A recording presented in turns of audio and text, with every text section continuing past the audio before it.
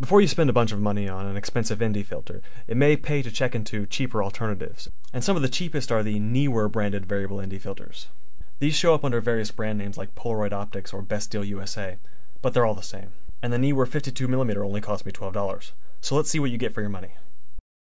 Tested on a Panasonic GH2 with the 14 to 42mm kit lens, I'll be looking at the usable attenuation range for both the minimum and maximum zoom, any degradation in sharpness, and finally any tints or color shifts. The first thing I notice is that the minimum and maximum marked on the filter don't exactly correspond to the actual min and max. The min being at the fourth dot, and the max being halfway between the x in max and the left point of that arrow. To find the usable range, I took a sequence of photographs starting with no filter, then to the filter at its minimum setting,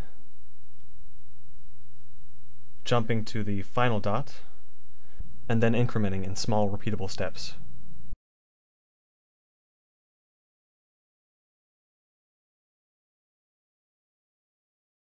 Here are the results of those exposures taken on a flat field at 14 millimeters, which is a 28 millimeter full frame equivalent. The first picture is without the filter and you can see the vignetting from the lens. The final exposure, 7.6 stops down, shows the inherent non-uniformity of a variable ND filter. The fifth and sixth exposures would be acceptable for a real scene, and were taken at 4 and 6 seconds respectively. Without the filter, the camera metered at one tenth of a second, which means these two exposures are down 5.3 and 5.9 stops. At 42 millimeters, things look much better. Exposure is flat all the way down to the last row, where the GH2 didn't have enough light to properly meter. With a little exposure compensation, we can see that the seventh image is still good, and the eighth is acceptable. That's more than 7 stops of attenuation. So a safe setting at 14 millimeters is about 5.3 stops down here, and at 42 millimeters, 7 stops down here. Now let's take a look at sharpness. This is a 100% crop of the 14 to 42 millimeter lens at 42 millimeters with focus on the P. And now with the filter.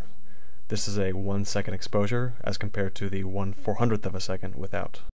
Without again, and with. There is a difference, but it's extremely subtle. Pretty impressive for such a cheap filter.